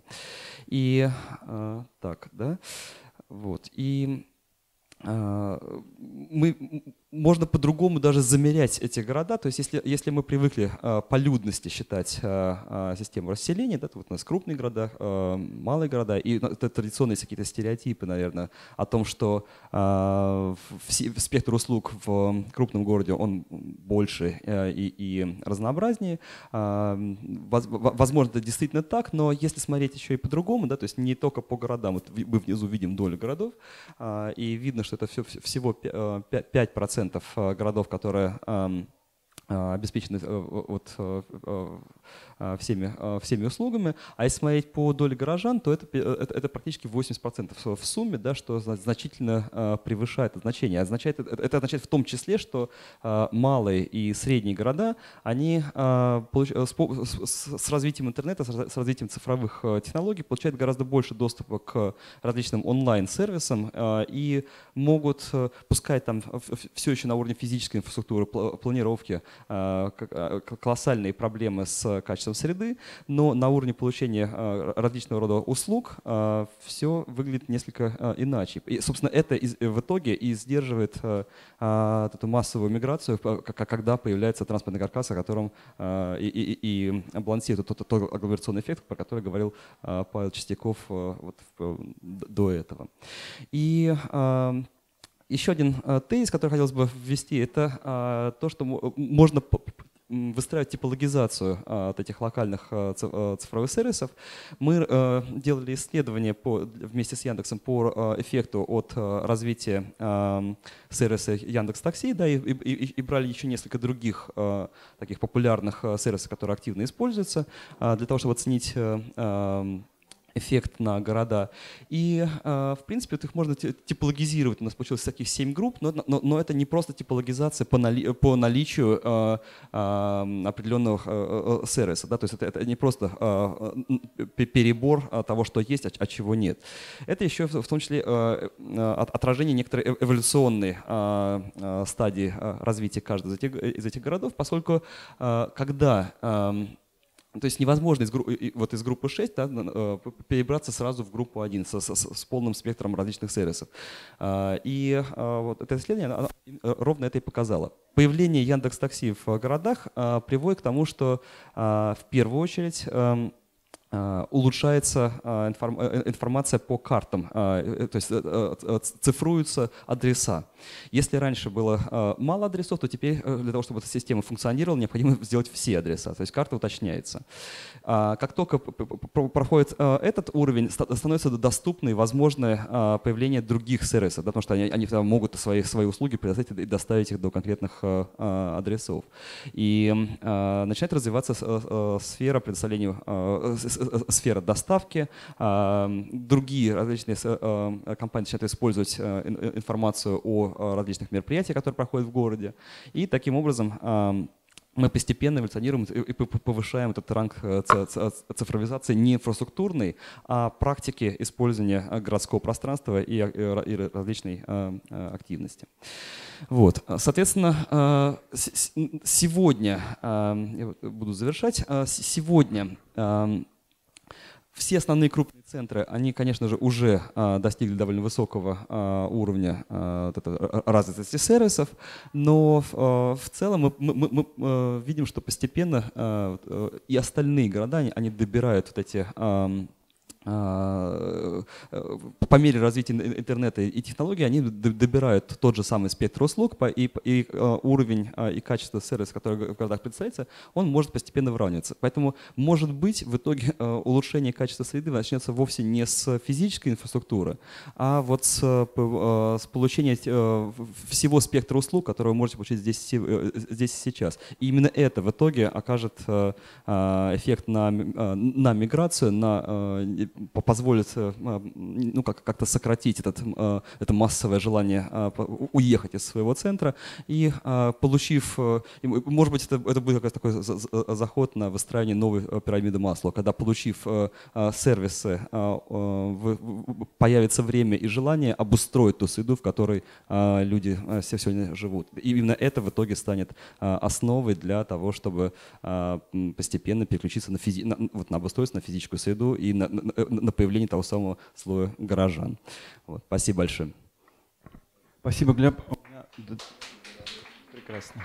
У меня э, два вопроса. Один, одно утверждение, которое, возможно, должны опровергнуть, да, а второй вопрос. Здесь было два сюжета. Один сюжет про связи в социальных сетях между городами, второй о цифровизации. Утверждение мое по поводу Первое. Я с большим подозрением отношусь к картированию связи в социальных сетях, поскольку, как мне кажется, они про другое, они не про связь между городами, между точкой А и точкой Б, они опосредованы совершенно другими соображениями. Да? Мы, мы долго думали над этим в Хавидатуме, там, и вот мое ощущение, что картирование вам дает ложную картину. Это не связь между городами, а это связь между категориями людей в сетевом пространстве. И как это интерпретировать, я не знаю, может быть, вы знаете. А второй вопрос – цифровизация. Вот а, принципиально, чем а, уровень цифровизации отличается здесь от, например, ситуации веком раньше о появлении водопровода или центрального отопления в городе? В чем, в чем тут какая-то специальность? Да? То есть это просто обычное дополнение, такой amenities, который э, создает нам более больше удобства, или в этом есть что-то такое, чего мы до сих пор не, не понимали. Да. Да. Спасибо. А, а, замечательные оба вопроса. С, с, с первым, конечно, конечно же, э, тут, тут, тут нет богов, которые знают, э, э, как, как устроена вся система взаимоотношений между людьми. Это, это невозможно. Но и, и конечно, это э, определенная выборка, да, то есть это э, очень ограниченное представление, э, как на, на самом деле выстроены социальные связи. И, и, и конечно, это, э, нужны другие, другого рода исследования, качественные, а не просто количественные, чтобы посмотреть но, качество но связи. социальные ли это связи между городами? Да, да совершенно вот, верно. Вот, да. Вот, Или между отдельными людьми, которые уехали в, в, были в этом городе изначально, уехали в другой, да, и, и поддерживают со, со своей контакты с э, теми, кто остался. Разумеется, так. Но если потом, а, и, и, и конечно, для этого э, ну, нужны другие исследования, собственно, возможно, это и есть как раз поле, для, э, куда стоит идти и проверять э, все эти гипотезы. А вот одна из них, ее сегодня также озвучил Павел Чистяков, весьма интересная, да, о том, что в итоге города, в которых вот с большим количеством связей на уровне социальных сетей, в итоге жители этих городов чаще путешествуют. Интересная гипотеза, по факту мы тоже знаем, что э, только определенный э, процент людей в принципе вообще склонен к каким-то регулярным перемещениям, и это очень условная мобильность, да, то есть э, это, это очень определенная выборка. Но, наверное, можно говорить про то, что в принципе наличие связей, более того, молодых людей в сетях явно больше, да, то есть э, можно скорее прогнозировать некоторое будущее э, представление о том, э, как, как будут выстроены эти связи. Это, во-первых, да, то есть э, люди стали друг другу известнее, доступнее, то есть мы получаем гораздо больше, находясь в Москве, мы получаем гораздо больше информации про, про другие города, равно как и обратно, да, то есть мы, мы находимся в каком-то едином информационном поле, и как минимум это нас уже объединяет. А во-вторых, все равно это, даже находясь в других точках, это все равно при, э, все равно привязан к пространству и локализуешься в город. И появляется ли у тебя при этом э, связка с этим городом, отдельный вопрос, который ты, конечно, э, вот эта, вот эта схема да, с а, большими а, сложными сетями, она никак не отражает. Тут вот. вот половины страны нет. Да. Конечно. Ну, э, э, я, я говорил да, что, что мы выбрали только, только топ-3. Вот. Она есть на самом деле с, с, с тоже очень интересными с связями внутри и как раз соединяет это с исследованиями по агломерациям. Интересно смотреть как, не только экономический эффект, а как социальный эффект, да, то есть насколько сибирские города взаимодействуют между собой, взаимодействуют ли вообще, да, вот, это, конечно, все тоже э, очень, э, очень, очень интересно, это требует э, отдельного изучения. А говоря, отвечая на второй вопрос, да, то есть, то есть на, на первый однозначно ответа нет, скорее это набор гипотез и, и поле, куда надо идти и, и сравнивать это с другими, с другими исследованиями. А, говоря про второй, ну, можно это упростить, наверное, до появления нового, нового типа инфраструктуры, с одной стороны. С другой стороны, Тепло и вода давали базовые, а, базовое какое-то минимальное качество э, инфраструктуры в, э, в городе, но не, означ... не давали возможности себя реализовывать и, и, и чувствовать э, интегрированными в более сложные экономические и социальные процессы. Появление, наличие устойчивых социальных связей и уж тем более возможность получать сервисы на том же уровне, как, какой вы получаете их в, в крупном городе, задает мне определенный стандарт жизни, определенное, определенное качество и а, помещ... Эм, интеграцию в общую информационную поездку. Так что, наверное, все-таки чуть больше, чем просто наличие новой инфраструктуры. И, и, и как раз в итоге и имеет... То есть от, э, тепло у вас может быть в разных городах, но вы вряд ли поедете э, за, за теплом в другой город. А вот от, от отсутствие какого-то сервиса, наверное, в большей степени, это опять-таки это предположение, э, влияет на то, захотите вы уехать в, в, в другой центр или нет. Так что здесь можно строить гипотезу относительно того, останутся люди или нет. Огромное спасибо. Да, конечно. Ну вот я как раз хотел, у нас осталось да, да. минут максимум. Глеб, я просто, э, я очень скептически вообще относился ко всем этим значит, делам.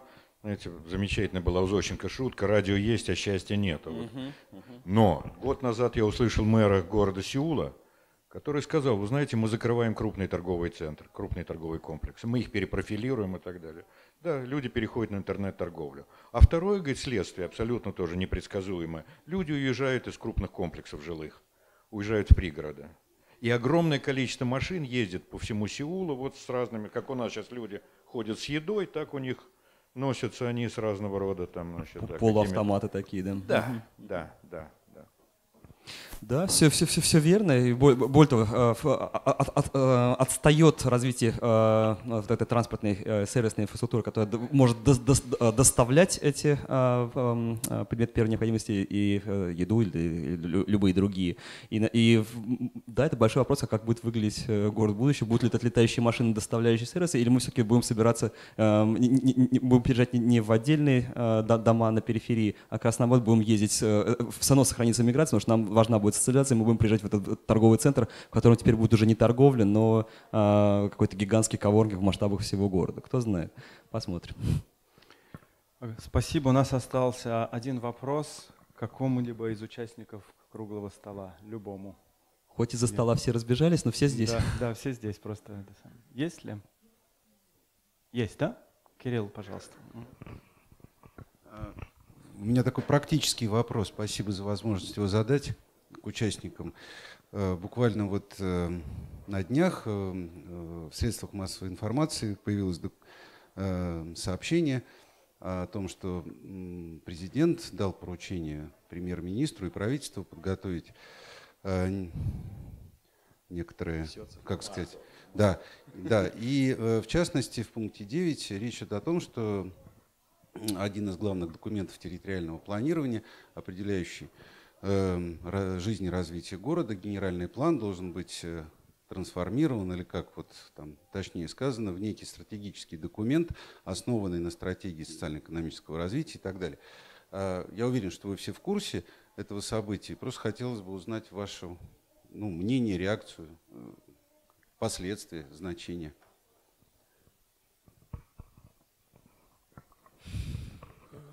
Ну, я не знаю, э, в рамках э, как бы грядущей, неизбежной идущей цифровизации возможно, это не так страшно, потому что э, цифровизация нам, в общем-то, как бы заменяет пространственную, в том числе и реальность. Э, например, вы все замечали и в метро, и просто везде. Э, я это для себя эффект называю «не здесь». То есть э, все люди, которые общаются со своим гаджетом, они не находятся здесь, да. Они находятся в любом другом месте. И поэтому, условно, качество той пространственной среды, в котором они пребывают, качество места, оно становится не таким важным, как более важным становится качество вот этой самой цифровой связи. Поэтому, может быть, это не так драматично, как может показаться. Бог с планом, да? Да.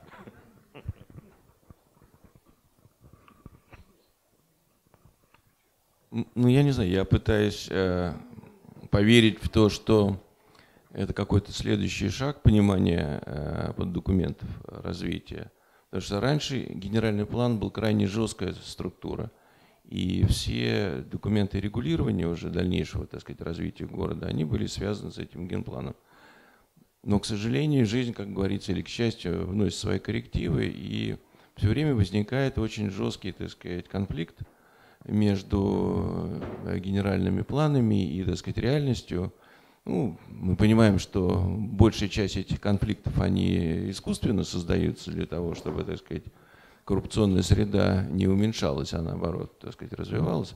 Но, может быть, во всяком случае, чуть себя надежды, что это путь вот э, к выработке стратегии, а не жестких документов, которые ограничивают те или иные действия людей. Спасибо. Спасибо. Да. А, ну, давно шла дискуссия, а, много разных дискуссий. А, одна о том, что у нас э, стратегия социально-экономического развития муниципального образования, она не состыкована с, э, с пространственным развитием, со стратегией пространства. Поэтому э, тут скорее, наверное, есть положительный момент, э, если это удастся с, в итоге выстроить эту связку да, и, и договориться о том, что именно мы замеряем и что ложится в основу принятия принимаемых решений и предлагаемых решений, то это, здесь вполне логично появление такого, такой связи. Если говорить про документы деятельного планирования, у нас э, э, тут, тут немножко сложнее, потому что тоже э, была другая дискуссия о том, что подход к разработке генерального плана на уровне незакрепленных и прописанных регламентов того, как это должно делаться, а на уровне нашей профессиональной практики он ну, во многом устарел. Да? Мы, мы, мы все еще пытаемся нарисовать идеальный образ города, а, а вовсе не пытаемся оценить реальные ресурсы, сбалансировать городское развитие и, и, и реализ... собственно, сформировать какую-то городскую политику, да, как, Э, или городскую пространственную стратегию, которая в, в купе даст э, определенный набор эффектов. Эти эффекты можно заранее посчитать, предъявить, представить в виде нескольких сценариев, э, и, собственно, это и будет предметом обсуждения политической борьбы и какого-то более жизненного, более, реального, более витального формата работы. Поэтому, наверное, здесь стоит говорить не про ну, не вырывать из контекста да, то, что э, будет меняться, э, вот, вот сейчас отменят генеральный план или вот сейчас ведут какой-то новый документ, э, потому что мы, мы не знаем, как, что в итоге будет разработано. И, и мы знаем, что часто, как мы на примере агломерации сегодня уже обсуждали, э, часто по, по, под э, одним понятием э, ученый, практик, э, профессионал и управленец подразумевают совершенно различные э, аспекты и смыслы, поэтому посмотрим.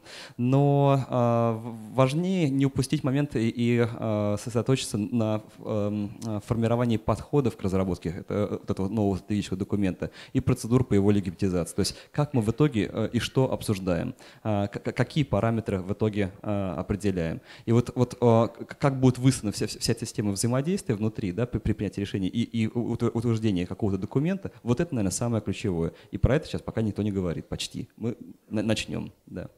Спасибо.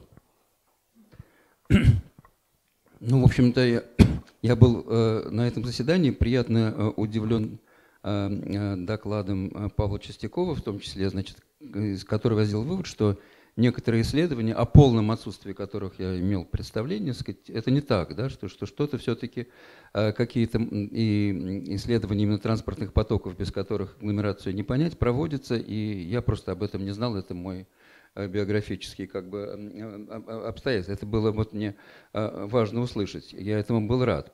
Почему я об этом сейчас заговорил? А одновременно вот ваши реплики насчет вот этих ТПУ, Э, где есть темные, значит, там 500-метровые пространства, сказать, ну и какой-то рядом это самое, сказать. Я к тому, что, эм, вы знаете, как бы эм, у меня не то что ощущение, а просто представление о том, что такого рода документы, как э, генсхемы, как схемы районных планировок, постепенно, сказать, в ситуации эм, вот такой как бы конкурентной деятельности, кто дешевле представит э, заготовку, проект и прочее, да, сказать, у кого, сказать, вот, как бы теряют свою профессионализацию и свою обоснованность, да, и вот в, эту, в этой борьбе э, за, э, за, ну, за, за, за получение заказов, да, сказать, даже такие э, заслуженные организации, как Гипрогор, например, сказать, тоже сказать, понижают и понижают и понижают и понижают уровень для того, чтобы сказать, сравняться по степени своей привлекательности для тех, кто эти деньги распределяет, ну, совсем какими-то сказать,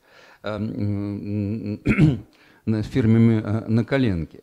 И если а, вот то, о чем вы спросили, да, сказать, подразумевает в себе, а я в этом сомневаюсь, потому что, сказать, как бы принципы а, как бы вот получения этих госзаказов, а мы живем в стране, где государство сказать, определяет слишком много сказать, и слишком сказать, э, своевольно, и слишком без науки. И это все, в принципе, не для того делается, чтобы э, эм, реализовать задачу, которая продекларирована вот для вот какой-то вот эм, ну, формирования освоения бюджетов прежде всего. Если вдруг а ну, я не, не вижу механизмов, которые это обеспечивали бы, сказать, это а, было бы сопряжено с, с каким-то возвращением а, научности, сказать, фундаментальности, а технологии позволяют сейчас гораздо больше, чем э, ну, там, в те же 70-е, 80-е годы. Да, сказать. Эм, а если это вдруг каким-то образом сказать, соединено одно с другим, то, то флаг в руки, ну, как бы скепсис э, и ожидание того, что это невозможно, эм, или ощущение того, что это невозможно, одновременно не покидает. Ну, а вот доклад Чистякова меня, тем не менее, сказать, немножко сказать, поколебал в этом. Спасибо. Спасибо. ЦССР сделал. Лучшее, что сделал ЦССР за все время его существования, полагаю. Именно вот это вот. Спасибо большое, Алексей Викторович. Я могу вам сказать следующее, уважаемые коллеги. Мы не представляем, где мы находимся, мы не в состоянии оценить существующее положение, да?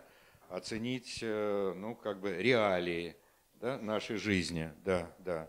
Э, сопоставить себя да, со всеми теми, кто живет вокруг нас, да, с теми, кто пребывает там в Евросоюзе, в Восточном Китае и так далее. Нам все время кажется, что мы, мы какие-то вот такие же, как и все. Мы другие, мы другие, хочу вам сказать. Э, мы не прошли через ту фазу развития, которая может квалифицироваться как условно там инфраструктурная революция. Я просто хочу вам напомнить, что вот все дороги, по которым ездят Соединенные Штаты, они были построены где-то 50-е годы после войны. Закончена была вот эта вот работа, фантастически, феноменальная, тяжелая и трудная по созданию вот этой инфраструктуры.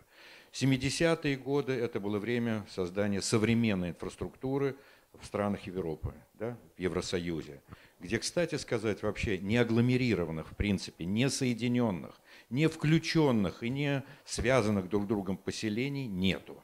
Просто нету, понимаете? И в 90-е годы эту же работу проделал Китай по формированию э, структуры общенациональной инфраструктуры. Да, вот эти вот, вот все, о чем, о чем вы, Павел, говорили, вот все, все там есть. В общем, эта система взаимосвязанная. Аэропортов, железных дорог, таких, сяких, э, национальных, э, региональных и так далее внутри городов все это выстроено, мы все это видим, знаем и так далее, как все это происходит.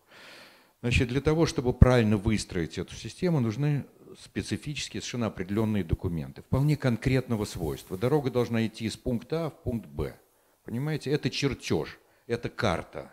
И эта карта, как правило, является одним из компонентов генеральных планов.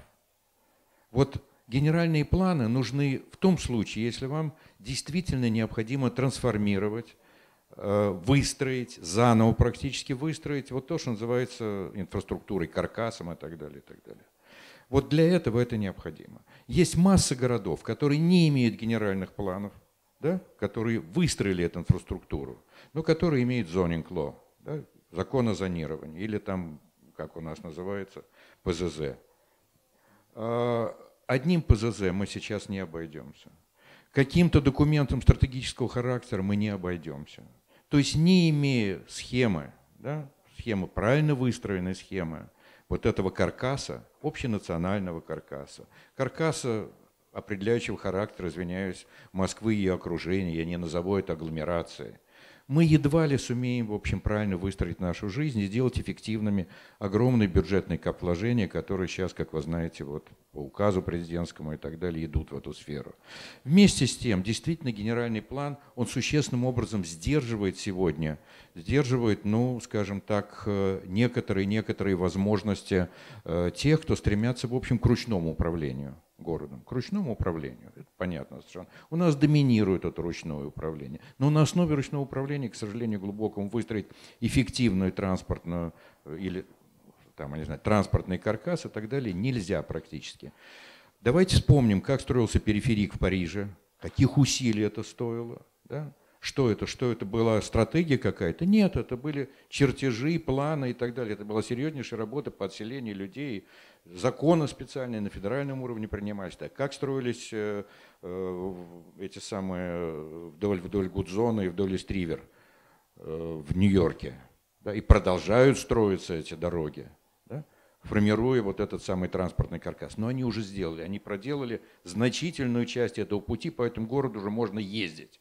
И по Парижу можно ездить, понимаете? А по Москве вот мы там что-то такое сделали, проходит год, и, э, и, к сожалению, глубокому, в общем, ездить опять достаточно сложно. Достаточно сложно, потому что нет, нет системной работы, нет, вообще говоря, мы до сих пор не знаем, что, оказывается, магистрали должны от улиц быть отделены. Мы несемся по восьмиполосному Ленинскому проспекту и попадаем на бессветофорный пешеходный переход. Еще недавно были они. Это нонсенс, это абсурд, этого не может быть. Вот те тысячи людей, которых мы теряем на дорогах, это все результаты следствия отсутствия нормального, правильно выстроенного вот этого каркаса. И другого инструмента, кроме генеральной схемы, которая является частью генерального плана для формирования вот этого, его нету. Можно отказаться от генерального плана. Разумеется, можно его сделать не таким, а каким-то другим. Но, в принципе, это, это так сказать, такой многослойный пирог, где едва ли не базовым, основным является то, о чем я говорю. Инфраструктурный каркас. То, о чем Алексей Гутнов говорил, и то, что, к сожалению, в общем, до сих пор мы не поняли. Мы продолжаем в чем-то быть очень советскими, а в чем-то быть, быть очень какими-то либеральными и так далее. Но это, эта либеральная политика нигде в мире не, не, не является столь либеральной. Еще раз я вспоминаю, как они рубили этот самый в Париже, этот периферик – и сколько это стоило там слез, э, стенаний и всего остального, еще раз могу вам сказать, что без этих, в общем, шагов, да, без этих шагов мы город современно не получим. Мы по-прежнему, по-прежнему не в состоянии разделить, э, разделить исторический город и, э, и город, условно говоря, коммерческий, деловой и так далее.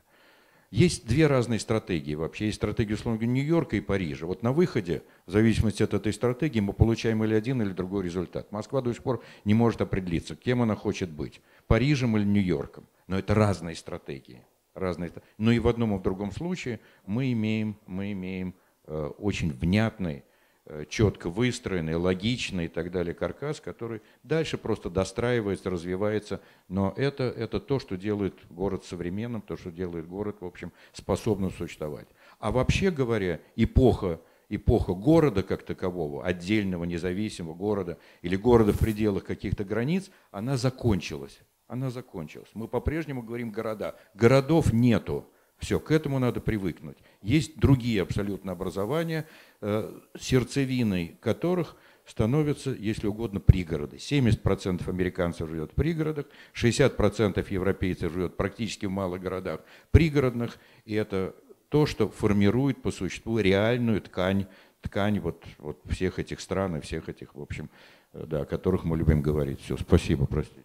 Можно еще одно слово? Буквально? Спасибо. Ага. Я просто хотел сказать, что вот, говоря, э, вот, ну, у нас как бы в сознании все-таки большие города, столичные города преобладают. А страна наша такая большая, такая гигантская, да, что мы запросто сейчас можем получить комбинацию из э, интернет-трафика 5G и туалетов на улице, да, сказать, сортиров, точнее, на улице.